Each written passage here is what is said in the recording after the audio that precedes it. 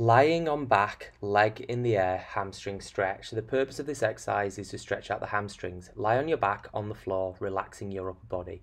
Bend your knees and flatten your feet on the floor. Lift one knee towards your chest, straighten it out and use your hands to pull it towards you. Look for a light stretch in your hamstring area. Hold this position for 10 seconds or as prescribed. Return back to the start position and repeat the movement on the opposite side. Progressions on this exercise would be to increase the number of repetitions or the length of time.